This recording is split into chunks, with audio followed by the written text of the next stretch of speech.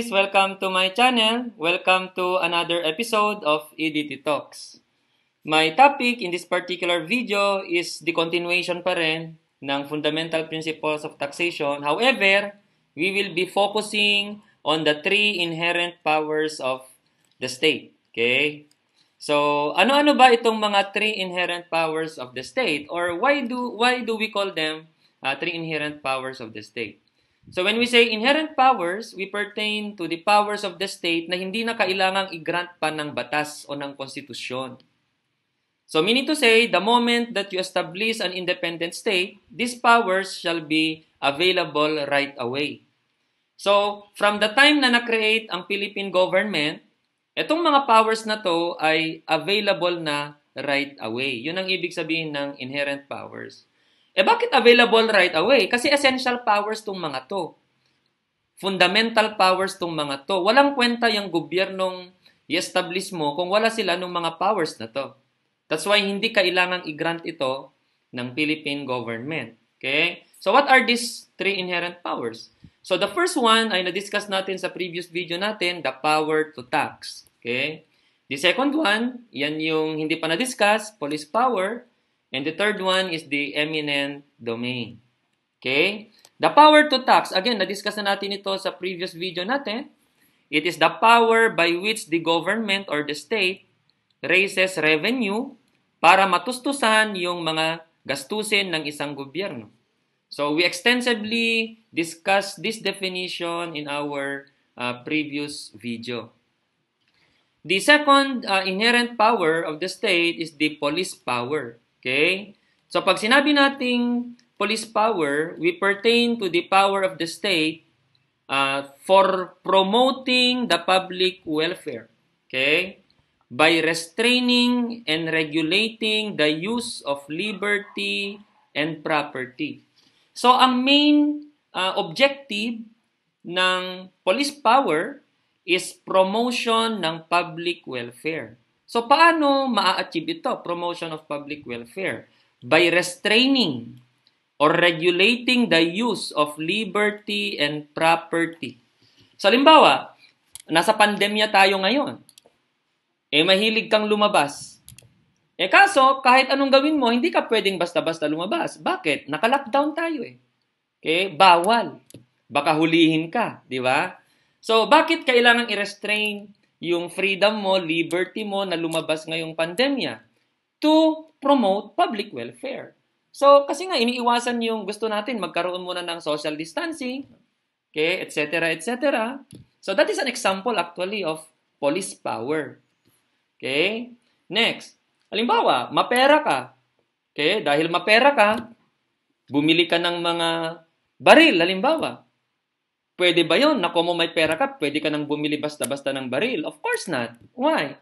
Because carrying uh, guns, firearms, may not promote general welfare. Kaya pwedeng i-restrain yan ng gobyerno. Pwedeng i-regulate yan ng gobyerno. So, ang tawag mo doon, police power. Halimbawa, mapagmahal ka. Eh, kaso may asawa ka na. Eh, eh, ibig ba sabihin, kung mapagmahal ka, pwede ka ulit mag-asawa ng isa pa? Of course not, because it will not promote general welfare. May batas tayo na nagbabawal dyan. Eh bakit ba may batas na nagbabawal sa ganon? Kasi yung objective ng batas na yon is to promote general welfare. Okay? So you just imagine kung pwede kang magpakasal sa napakaraming... Of course, uh, pardon me, baka may nanonood dito na mga uh, kapatid nating mga Muslim, meron yata silang ibang klaseng batas sa ganyan. Okay? So, I'm not referring to that uh, particular scenario. Okay? So, yun ang ibig sabihin ng police power. So, how uh, will the government promote general welfare? By restraining or regulating our liberty and property. Okay? So, that's the other type of uh, inherent power, the other power is power of eminent domain. So pag sinabi nating power of eminent domain, it pertain to the power of the state to acquire private property. Eh bakit kailangang i-acquire yung private property? For public purpose. Okay? Pero siyempre, Dahil pag-aari yon ng ibang tao, hindi naman pag-aari ng gobyerno, uh, that particular person is entitled for payment, of course, with respect to the fair value ng kanyang property na kinuha ng gobyerno. Ang tawag natin ay payment of just compensation. So, yun yung tinatawag na eminent domain. So, yung eminent domain ba, sir, uh, kahit ayaw ng uh, taxpayer o kahit ayaw ng private individual or person? The answer is yes. Wala kang magagawa dyan kasi karapatan ng gobyerno na kunin niya. Provided, of course, na yan ay gagamitin for public purpose. Okay? And, of course, the owner of the private property shall be entitled for payment, okay, equivalent to the fair value ng kanyang property na kinuha ng gobyerno. Tinatawag natin yan na just compensation. So those are the three inherent powers of the state or the government. Okay, let's compare the three. Okay, similarities among the three powers of the state. Number one, they are inherent in the state. So ibig sabihin, uh, these powers are not actually granted okay, by the Philippine go by the Philippine Constitution or by the Constitution. So this shall be available right away uh, the moment na may na-create na independent state. So, yan ang ibig sabihin ng inherent power. Number two, they exist independently of the Constitution. Okay? Dali ha, nawala yata yung pointer ko. So, number two is they exist independently of the Constitution. Ano ibig sabihin? Ang ibig sabihin, these powers are available kahit wala yan sa Philippine Constitution. So, hindi kailangang nakalagay sa Constitution na the Philippine government shall have the power to tax. Hindi kailangan yon. The Philippine government shall have the power to exercise uh, or to, to enact laws to promote general welfare in the exercise of police power. Hindi kailangan na nasa batas yun. Pati yung eminent domain. That's why they exist independently of the Constitution. Although the conditions for, the, for their exercise may be prescribed by the Constitution. So, halimbawa, the power to tax, hindi mo makikita sa Philippine Constitution na grinant ng Constitution yan. Na halimbawa, the Philippine government shall have the power to tax. However, maaring may makikita ka sa Constitution natin pertaining sa mga limitasyon sa pag-exercise ng gobyerno ng power to tax niya.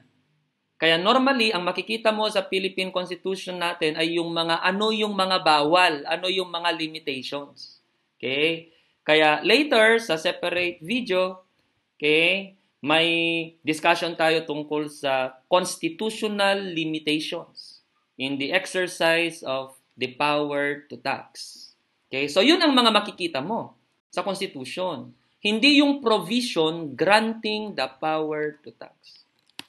Kaya kung may makikita kang problem or exercises stating na the Philippine government can exercise the power to tax even if this power was not granted under the Constitution? The answer is yes, because this power is inherent.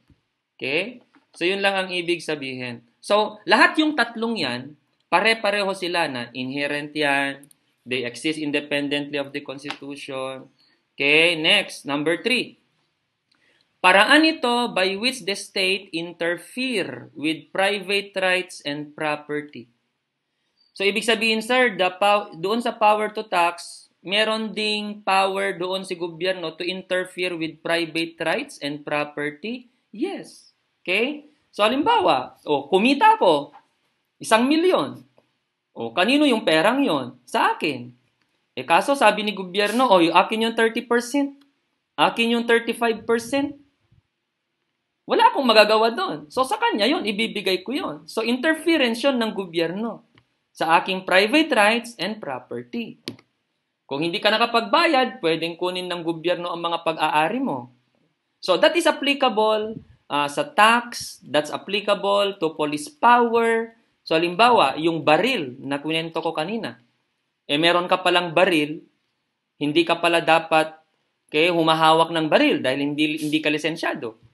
So, the Philippine government has the right na kunin yung baril na yon. Okay? Meron kang mga illegal drugs. Eh, obviously, bawal yan. So, kanino yung mga drugs na yon? Sa'yo. Pero dahil bawal yan, it will not promote general welfare at nasa batas yun na bawal kang mag-carry ng mga ganon, the government can take it away from you. Kaya may interference yan sa private rights and property mo. O, ganun din sa eminent domain.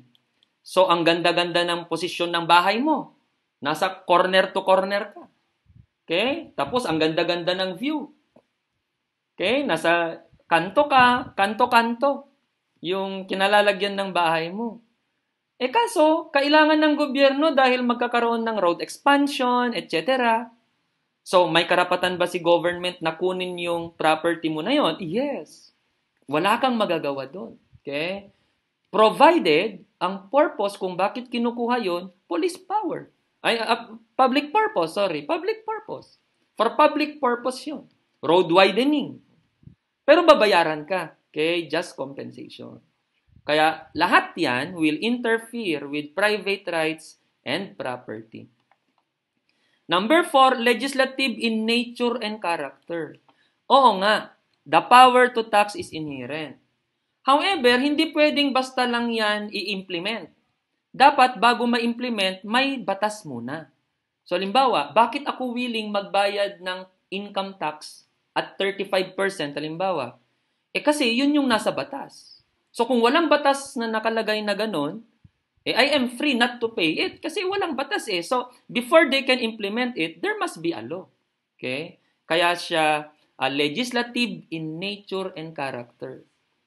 Example, sa Pilipinas, pag namatay tayo at may mga pag-aari tayo, yung paglilipat mo ng properties mo sa'yo na namatay papunta sa mga tagapagmana mo, may tax yun. Tinatawag yun na estate tax. Okay? Itatakel yon sa separate subject nyo in case you are still taking your income taxation now. So, hindi ka pa nakakapag-take ng tax to mo or yung other tax subject natin sa undergrad, the transfer and business taxes. So, pag namatay tayo at may pag-aari tayo at ililipat natin sa mga tagapagmana natin, may tax yun, estate tax yun. May batas tayong ganun. However, ikaw na nagmana, wala kang tax. Kasi yung, yung estate tax na yon, tax yon ni namatay sa pagtra-transfer niya ng pag-aari niya sa yon na buhay pa. Pero ikaw na tagapagmana, wala kang tax. Wala tayong tinatawag na inheritance tax. However, sa ibang bansa, maaaring may ganon. Halimbawa, Amerika. Ang alam ko meron. Okay? I'm not sure pero halimbawa, merong batas doon na inheritance tax. So, Magkaiba pa yung estate tax sa inheritance tax. But in the Philippines, we don't have inheritance tax. Kaya, alimbawa, nagmana ka, hindi ka pwedeng puntahan ni BIR, oy, tagapagmana, bayad ka ng tax mo. Hindi niya pwedeng singilin sa'yo yon. Bakit? Kasi wala tayong batas na patungkol sa inheritance tax. Ngayon, kung gusto ng gobyerno na maningil ng inheritance tax, dapat mag-enact muna sila ng law pertaining to inheritance tax. Kaya, As long as wala pa talagang specific na law pertaining to that, then hindi pwedeng i-implement yun. Okay? Kaya siya tinatawag na uh, these powers are uh, legislative in nature and character. Lahat, sir, yung power to tax, police power, eminent domain, yes. Bakit kinuha yung baril mo kanina? Eh kasi may batas tayo na nagbabawal na ikaw ay mag-carry ng baril kung ikaw ay walang lisensya. Oh. Bakit kinuha yung mga uh, illegal drugs mo kanina? Eh kasi may batas tayo na nagde-declare na yung mga drugs na yan ay illegal. Okay? So pwedeng kunin yung mga yon. Eh bakit may karapatan si gobyerno na kunin yung bahay mo, bayaran na lang just compensation? Eh kasi may batas tayo na nagsasabi na kapag kayan ay kailangan ng gobyerno, okay, uh, for public purpose, ay pwede niyang kunin. So lahat yan. Legislative in nature and character. So, bago ma-implement yan ng gobyerno, okay, bago ma-implement ng gobyerno yan, dapat may batas muna. And lastly, number five, it presuppose an equivalent compensation received directly or indirectly. Halimbawa, tax. So sa pagbabayad mo ba ng tax, meron kang benefit na nakuha? Oo naman. Kaya nga maayos yung dinadaanan mo, di ba? Kaya nga kahit mamatay ka eh, maayos pa rin ang paglipat ng mga pag-aari mo sa mga tagapagmana mo. Okay? So meron tayong na benefit na natatanggap. Okay? Sa pamamagitan ng pagbayad ng tax. So, ganun din sa police power. You just imagine kung walang police power, di ang gulo-gulo ng bansa, di ba? Ganun din sa eminent domain.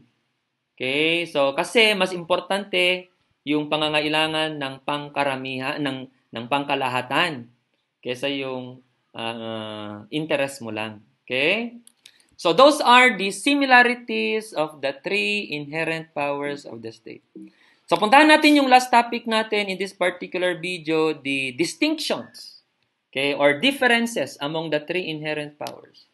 Una, okay, puntahan natin, syempre, na-discuss natin to, yung sa tax kasi, that pertains to the power to enforce contributions. So that pertains to your tax, to raise uh, to raise government funds. So na-discuss na natin 'yan.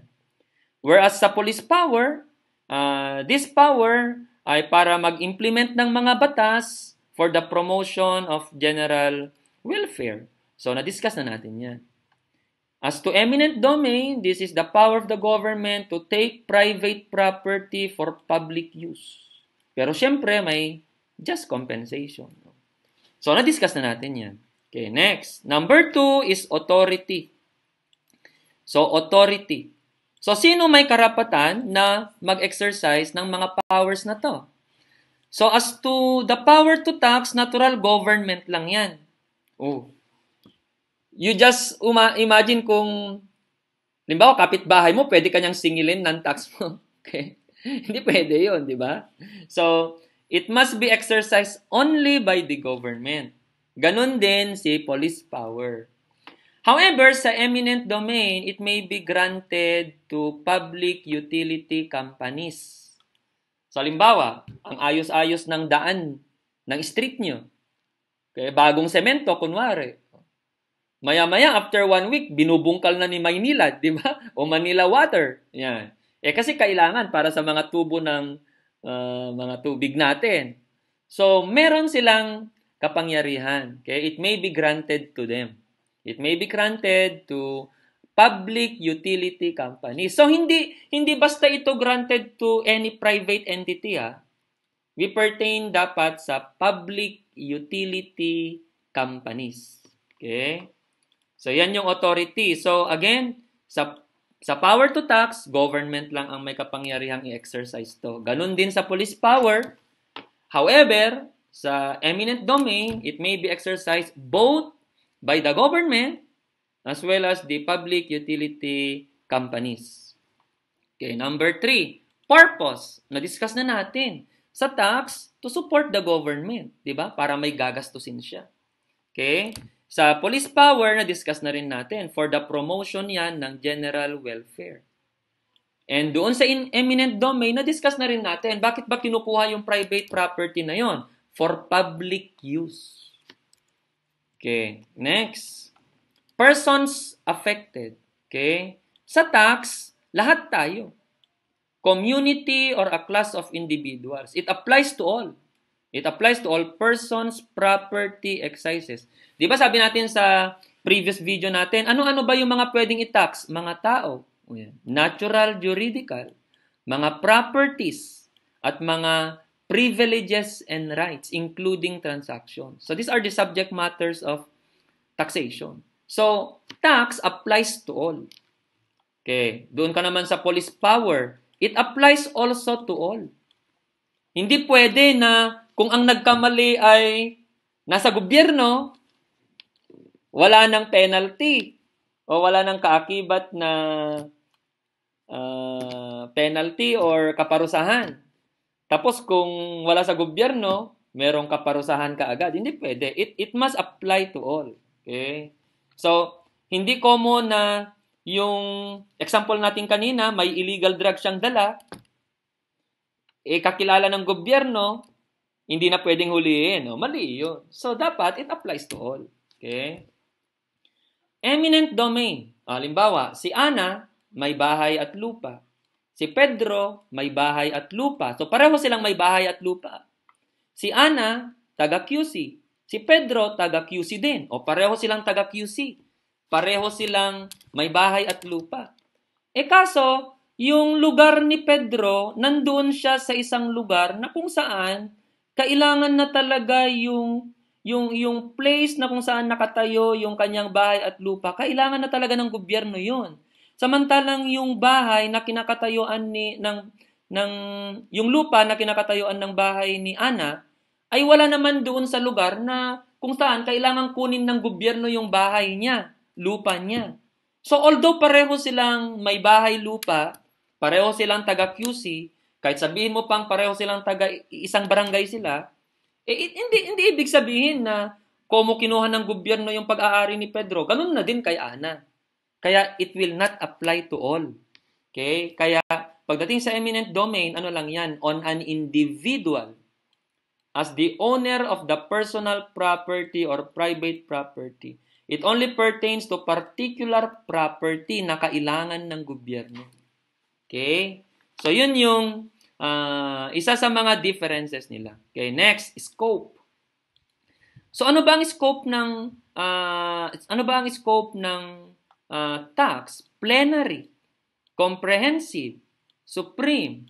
So, ibig mong sabihin, pag sinabi mong plenary, comprehensive, uh, sakop lahat So halimbawa, kumita ka, o may tax. Nag-donate ka, may tax. May negosyo ka, may tax. Namatay ka, may tax kung meron kang mga properties na kailangan ilipat sa uh, mga tagapagmana mo. So, uh, par, when we say comprehensive, nan, nandun na lahat. Okay? Okay? Na-consider na lahat. Supreme. Kasi maraming nagsasabi na the power to tax is the strongest power among the three inherent powers of the state. Uh, maybe they associate this sa tinatawag nating kasi ang lifeblood ng gobyerno ay tax. Without tax, walang gobyerno.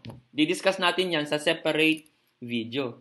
Okay? Kaya tinatawag nilang the power to tax is supreme. So actually, itong tatlong to is yung uh, tinatawag nating scope. Okay, yan, scope of the power to tax. Next, puntahan natin si police power. Broader in application. General power to make and implement law. That will promote uh, that will promote yung tinatawag nating general welfare. Siyempre, pag sinabi mong general welfare, mas broader talaga yung application niya. Eminent domain, merely a power to take private property for public use. Okay? Next. Natakpan yung ating PowerPoint. So, effect. Effect. So, doon tayo sa power to tax. The contribution becomes part of public fund. Okay? Sa power to tax. Uh, sa eminent domain, no transfer or title. There may be just a restraint. Okay? On the injurious use of property. Pagbabawalan ka na gumamit ng mga properties na makakasira sa general welfare. Okay? Eminent domain, there is a transfer of title kasi from private owner to the government. Ganyan mangyayari. Okay, next. Number seven. So, benefits received. So, lahat naman yan, may benefit received tayo. Ay, power to tax man yan, okay, police power man yan, eminent domain. So, in the power to tax, in form of protection and benefits received from the government. Protection. Oh, halimbawa, may mananakop, sasakupin tayo ng China. So, sino magde-defend sa atin? Natural, gobyerno, di ba? Sana lang, no? Sana kaya nating protect, sana kaya tayong protektahan ng gobyerno natin, no? So, kung gusto mong may may kapasidad ang gobyerno natin na lumaban sa outside threat, okay, sa mga mananakop, eh magbayad ka ng tax mo. Eh, kaya hindi comparable. Siguro pag nagyera ang China at Philippines, 5 minutes, tapos na siguro, no? So magbayad kasi tayo ng tax natin para maka makalikom tayo ng pondo, makabili ang gobyerno ng mga uh, dapat na mga equipment, okay? Para kayang i-defend ng gobyerno natin ang bansa natin. So in form of protection and benefits received by from the government. Okay, police power, no direct immediate benefit but only such as may arise from the maintenance of a healthy economic standard of society. So, halimbawa, yung pagbabawal ng paninigarilyo sa public places.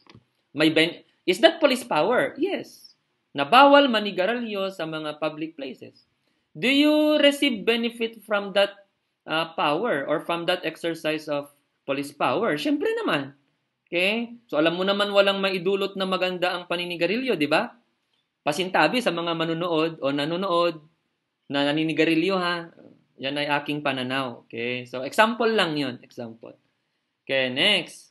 Uh, eminent domain. Meron bang benefit na matatanggap yung may-ari ng private property? Siyempre naman. Yung market value ng property na kinuha sa kanya. Di ba? Take note, babayaran siya. Okay? Babayaran siya ng tinatawag na just compensation. Okay, last item na tayo sa differences ng tatlo. Amount imposed. Magkano ba ang tax? Actually, as to amount imposed, pagdating sa tax, there is no limit. Okay? Kaya unlimited ang amount ng tax. Pwede ako itaxer ng 10 million? Oo naman. Pero siyempre, depende yon Kaya mo bang magbayad ng 10 million? So, Siyempre, may separate topic tayo later. Okay, characteristics of the power to tax. Malalaman mo doon na siyempre, ang sisingiling tax sa'yo ay yung amount na kaya mong bayaran. Halimbawa, wala kang kita. Alang-alang naman, sisingiling ka ng 10 million. Saan ka naman kukuha ng pambayad mo? Pero kung napakayaman mong tao, bilyon-bilyon ang kita mo, eh baka barya lang yung 10 million. So, can they collect 10 million from you as tax? Yes naman. Okay? So, depende kung ano yung nakalagay sa provision ng income tax, magkano ang dapat sisingilin sa'yo, magkano ang tax mo pag ganito ang income mo. Kaya unlimited yan. Can they collect tax in the amount ng na billion? O naman, kung bilyonaryo ka, kung billion-billion ang mga pinag-uusapan natin. Kaya pagdating sa tax, no limit. However, liw- liwanagin ko lang yung no limit na yan. Siyempre, depende sa kapasidad ni taxpayer. Okay? So next, punta naman natin si police power. Sa tax kasi, di ba, sisingilin tayo ng tax. So magbabayad tayo ng tax. How about sa, so, so therefore, merong nakokolektang pera si gobyerno sa power to tax. Okay? Merong nakokolektang pera si gobyerno sa power to tax. Gaano kalaki yung kinokolekta ni gobyerno na tax? Depende sa pangangailangan nito. So kung malaki ang pangangailangan niya, malaki din ang tax na kokolektahin sa atin. Okay? Next. How about, sir, sa police power? Meron bang kinokolektang pera sa police power? Yes. Pero hindi sinlaki ng tax. Maliit lang sa police power. Bakit? Kasi sa power to tax, yung pondo na nalikom is to support the activities of the government, di ba? Oh.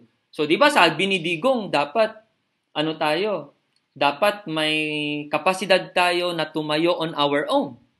Di ba yun ang independent foreign policy ang gusto ni Digong, di ba?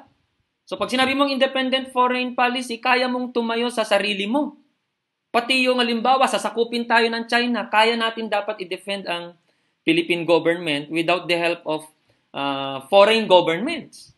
So kung ganun, dapat kumpleto din ang uh, equipment ng military natin, di ba? O in that case, edi malaking pondo yon. Dahil malaking pondo yon, malaki din dapat ang kailangang kolektahin sa uh, mga taxpayers. Kaya As to the amount of the tax na kokolektahin, nakadepende yan sa pangangailangan ng gobyerno. May nagtanong sa akin, Sir, bakit sa ibang bansa walang tax? Ah, halimbawa, sa mga bansa na may other sources of funds sila, so like sa Middle East, so marami silang oil, halimbawa. E do kung ganun, dahil marami naman silang oil, malaki na yung kita ng gobyerno sila, nila sa, sa oil, eh di hindi na kailangan pang kolektahan ng tax yung mga individual taxpayers. So kung halimbawa sa Saudi Arabia, walang income tax ang mga individuals, walang tax ang mga empleyado, okay? Eh kung ganon, ah, pwede yun. Kasi nga, may ibang sources yung gobyerno nila. Eh sa Pilipinas, wala naman. Okay? Wala naman tayong oil.